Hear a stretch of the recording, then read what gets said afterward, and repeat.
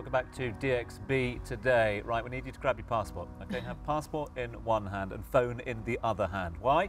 We've got ourselves a bit of a travel special at the moment. Uh, yeah, we're focusing on the Eid break, which is, of course, just around the corner, but equally looking further down the field to summer. So hopefully by the end of the show, you're booked down to the airport and off. All right, okay, to that end, we need a great consultant. And our next guest is a CEO helping travellers find top notch accommodations and, of course, travel experiences across the globe. Known for his profound industry insights uh, and the travel industry as a whole, please welcome to DXB today uh, Ahmed Soliman from the TCA Group of Companies. Good to have you with us. Thank you so much for having me. Good to have you on board, and thanks so much indeed for your time as well. I know it's a busy time of year, for, but to that end, and it's a unique one, this one, isn't it? When you consider that the Eid break coming at a similar time to the Hajj pilgrimage, not that far away from the grand uh, summer getaways for a lot of people as well, summer holidays just around the corner, all of them coming together.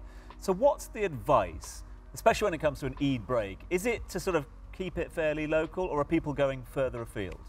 Well, it's very interesting statistically. Uh, we work with a company called Mabrian who does support us in terms of finding out and trying to get a finger on the pulse kind of methodology. Uh, statistically, we've seen a lower take in short haul destinations, so 14% short haul versus 43% and 41% respectively for longer haul and medium haul. So between three to six hours and six plus, six to 12 for the longer haul destinations, um, has been the major focal, focal point from the Dubai market, uh, which is very interesting to, to be fair. Uh, saying that, I just feel like people are kind of gearing up for this escape. And yeah. with what's going on in Europe and with, uh, with travel being such a, a need, a necessity for people uh, right now to, to reinvoke their souls, uh, they are looking at these destinations. So Egypt's doing well, Turkey from the from the medium haul, and then we've got the UK and Thailand, as you mentioned, yeah, doing well for the longer haul. Yeah, well, definitely, Ahmed, we have to talk about religious uh, tourism, of, of course. course. because this time of year, uh, Hajj or Umrah, the Kingdom of Saudi Arabia, right next door, obviously people will be flocking there. Uh, and I know Saudi is updating a lot of their rules at quite a fast pace. Is there anything new that we should know about? For example, can women now go to Umrah or go to Hajj without a mahram? So yes, so Saudi, uh, we have to look at this and, and, and take it um, as it is, as the largest pilgrimage on, on planet Earth. Yeah, and we have to give credit to the legislations and to the developments that the kingdom has done in order to make it easier. Um, the Hajj process still in its entirety is an independent process unto its own versus the other visa legislations and regulations that the, that the, that the kingdom has put into place. However, generic visas via Umrah or tourism have now become increasingly easy. Right now, as a GCC resident, you can actually just apply online and your e-visa will come directly to you. That has been opened up in the last month. Um, in terms of specifically towards Hajj, obviously work, what we would recommend is work with a legitimate partner that works in that segment. Um, initially, we'd have to obviously focus on achieving or, or securing a Hajj permit, which is based on a, an allowance is allocated to, to the countries around the world, done by the Ministry of Hajj.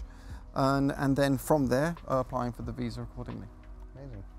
Uh, would you say that the Umrah visa allows visitors to explore other parts of Saudi Arabia as well beyond just their religious pilgrimage? Yes, and that's what's amazing about it. Um, the visa process in Saudi allows for full exploration of uh, both religious and touristic sites. So this really does open up a world of opportunities within the kingdom. Um, it also, furthermore, enhances the experiences with, with tech adapted support with the Nusuk app if it was a religious tourism kind of experience. The Nusuk app allows you to book uh, periods of times both within both major religious sites. So all of these elements have kind of supported that process and that movement. Ahmed, we were talking on the sideline. Um, mashallah, you have tons of experience in the sector. When you travel, do you go to trending or not? Oh, very interesting question. Um, I prefer not because I prefer to uh, as Ralph Waldo said, said once, I think his quote is, is travel is to leave your footprint versus to follow others. So that's the kind of mindset that I kind of implement, implement in my travel experiences. And I always want to explore and I always want to learn more. And, and I truly believe that travel is an education. Yeah. Are people Are people traveling to destinations or are people traveling for experiences? Like, you know, people love their food, people love their culinary experiences. Are people going away for a colouring experience regardless of where it is? We're seeing multiple multiple reasons. When we do the research, again, uh, we, we do look statistically as well as feel from our own kind of experiences within the market and our own network. But statistically, we are seeing art and culture uh, is on the rise, is growing, uh, health tourism is growing, and wellness is growing. So these segments all point towards experiences. Mm. Yeah, uh, experiencing a new culture, experiencing a new cuisine, experiencing a new way of life. Because health can be determined by multiple segments as well as well as can wellness. Mm. So keeping all of that in, into uh, consideration, we're seeing that experiential travel is the way forward. Furthermore, when it comes to luxury travel, this is where hotels do really need to kind of up their game in terms of what are they delivering. I mean, definitely. Uh, I want to actually know, since before, uh, so many things have changed, different trends before COVID and after COVID. I want to know, have you seen a change in trends as to where people are going? And that's a question for you as well, Omar. Uh, uh has there been a change in where people are deciding to go on holiday? Yeah, for me, I've seen that uh, people are heavily focused on experience. Um, the end of the day, uh, people want to actually experience their travel rather than just change in geography or change in location. Um, a lot of people actually, even me personally, in my previous life, it just was traveling for me was a change in location. I'm here today, tomorrow I'm in London, I will do the same thing I did here. But I think uh, being human and, and connecting with the destination and having a memorable moment and living a life you will remember ultimately comes out from experiences. What have you noticed, Ahmed? Are you, are you thinking people are traveling more or less for that perfect Instagram picture? Oh, that, that's a challenge. Um, more or less, I wouldn't like to debate, but uh, but in, in terms of have we seen a change? Yes, 100%. And I think during COVID, one thing that I, we did recognize from COVID, it was the first instance in humanity where the entire world experienced the same thing. Okay, we've never had that, be it a world war, be it otherwise. So this was an this changed people's mindsets, and it also allowed people to value life uh, and value the experiences that the world has to bring. Mm. Um, Ahmed, with all the different types of tourism uh, that you know we are seeing right now, medical, cultural, adventure, sleep tourism is something we've uh, previously discussed on the show, culinary tourism and shopping, which is my kind of uh, travel plan. Which one would you say is the fastest rising or the most popular kind?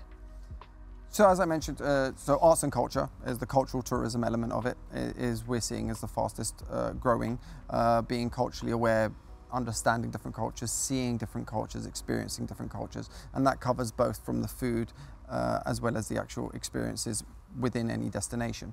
However, as you can say, there's still the traditional hotspots, which are shopping. Uh, it's still it's still there. People still enjoy shopping, no matter how much of this uh, of this wonderful city we live in uh, has an abundance of shopping. The biggest mall in the world, yet yeah, shopping on the Champs Elysees or in the centre of London still has its uh, has its pull. Yeah, absolutely. Hits different. Ahmed Soliman, thank you so much for being on DXB today. Absolute pleasure. Thank you so much. See you soon. All right, and happy travels as well. Thank you. Now, coming up on the show, we are going to have our spotlight, and today it's on a corporate travel agency in the city providing reliable and efficient services uh, tailored to your needs, creating the best routes to the right location. This is Basil Abu Rob from U Travel.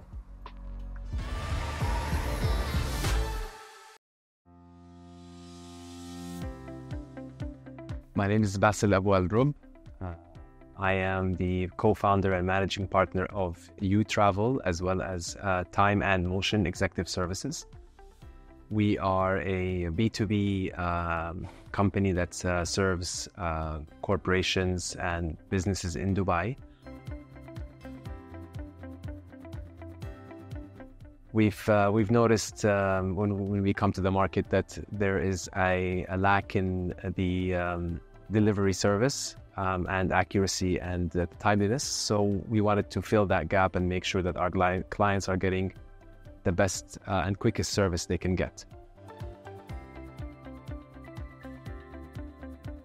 We hope to have more than 500 or 600 cars in the next three to five years. And uh, we want to make sure that we have better deals with our partners, such as hotels and airlines.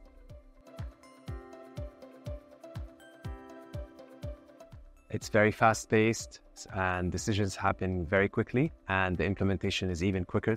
So um, we like that. Uh, there's no waiting around uh, for things to happen. Things happen with or without you. So you just have to keep reinventing yourself and making sure that you're on top of your game. Coming up, we are discussing personalized journeys that foster self growth with a team at We Love Transformational Travel, the world's first booking and advisory platform for life changing trips. Plus, we've got great music on set, so please stay with us.